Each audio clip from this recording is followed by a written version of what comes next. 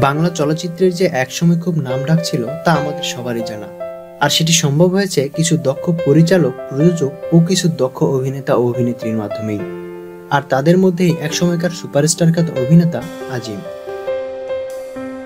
তিনি একজন বাংলাদেশি অভিনেতা, যিনি আজিম নামে সবার কাছে সুপরিচিত হলেও তার আসল নাম নুরুল আজিম খালেদ রৌফ। উনিশশো ষাট ও উনিশশো দশকে লোককাহিনী নির্ভর ও প্রণয়ধর্মী চলচ্চিত্রে প্রধান অভিনেতা হিসেবে তিনি বেশ সুখ্যাতি অর্জন করেন। উনিশশো ষাট সালে এহতেশাম পরিচালিত রাজধানীর বুকে চলচ্চিত্রে পার্শ্ব চরিত্রে অভিনয়ের মধ্য দিয়ে তার বড় পর্দায় আত্মপ্রকাশ হয়।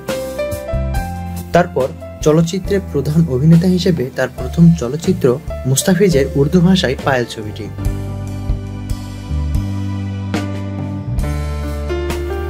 তার অভিনীত উল্লেখযোগ্য চলচ্চিত্রসমূহ হল হারানুদ্দিন ডাকবাবু সাত ভাই চম্পা এবং ভানুমতি।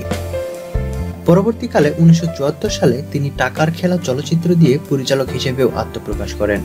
তার নির্মিত অন্যান্য চলচ্চিত্র সমূহ হল প্রতিনিধি জীবন মরণ বদলা, গাদ্দার এবং দেবর ভাবি। নুরুল আজিম খালেদ রৌফ উনিশশো সালের তেইশ জুলাই তৎকালীন ব্রিটিশ ভারতের পূর্ববঙ্গে বা বর্তমানে বাংলাদেশ সিলেট জেলার হবিগঞ্জ জেলায় জন্মগ্রহণ করেন। আজিমের পিতা মুন্সেফ হওয়ার কারণে দেশের বিভিন্ন স্থানে তার শৈশব কাটে এবং দীর্ঘকাল পরে ঢাকার হাটখোলায় তারা স্থানীয় হন। আজিম চলচ্চিত্রে আগমন করেন রাজধানীর বুকে একটি ক্ষুদ্র চরিত্রে অভিনয় দিয়ে। তার বন্ধু রবীন ঘোষ এই ছবির সংগীত পরিচালক ছিলেন।